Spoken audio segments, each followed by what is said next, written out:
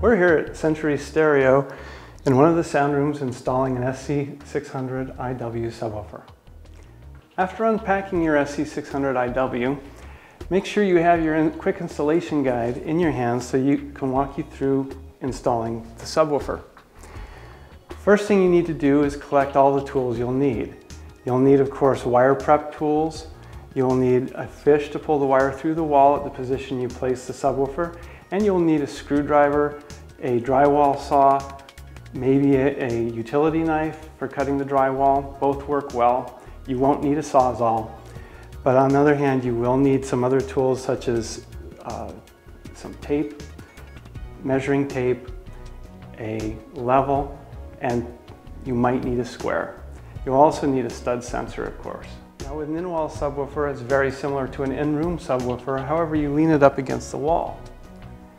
You can move it around the room and listen at your listening position to see where the best position is. You're looking for a position with two studs that you can cut a hole in between to install it, but you don't want that hole to be in a panel where there's power or a light switch due to the conduit that runs in the panel. In this room, we found this position in the corner to be the best. Now that you've found the proper place for your subwoofer, it's time to measure the wire length that you need to run in the path that you want to run to it. Sometimes over the ceiling, down through the wall, sometimes under the floor. Be sure and look out for any fire breaks that might be in the wall and run your wire. So now what we did is we used our stud sensor to find where our stud centers were and mark them. We measured to the center between them and set up our template on that center line. We also used our level to make sure that it was level and square and taped the template to the wall for cutting. Cutting the hole is actually easy. You can either use a utility knife or a drywall saw. You don't need anything as heavy duty as a sawzall. Wait a minute, we need our safety glasses. That was close. Let's start cutting. Now have your hole cut for your SC600 IW. And you can finish pulling your wire down so that you can hook it up. One of the first things you probably want to do is take your SC600 and test fit it into the hole. If it's a little loose, we've included some foam pieces to put on the sides so that it fits better into the hole and you don't get any buzzing and rattling and performance later on. Next, hook up your wire. You might want to put a little bend in it so it goes into the terminal a little easier. Black to black and red to red.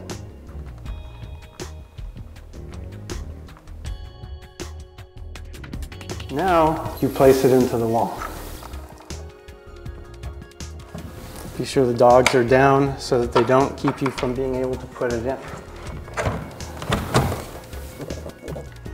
Now you'll tighten up the dogs or clamps using the three screws at the top and three screws at the bottom of the SC600 IW. You can use a drill, you can use a hand screwdriver, just don't over tighten them. We recommend you start at the top and alternate top to bottom. To finish the rigid installation of your SC600 IW, you want to take one of the four wood screws supplied with the SC600 to attach it to the stud and screw it in to the angled hole through the side into the stud. Repeat with the other three. Next, you can match the color of the bezel to the wall by taking the included paint template and putting it into the grill groove and then painting over the face of the speaker. You can also color the, the grill in the same way. You don't need the paint template, just paint the grill. Lastly, audition the speaker to make sure that it sounds good if you find there are any buzzes or rattles, then go back and adjust. Then when you've got it finally set up and it sounds good, you can put the grill on and you're done.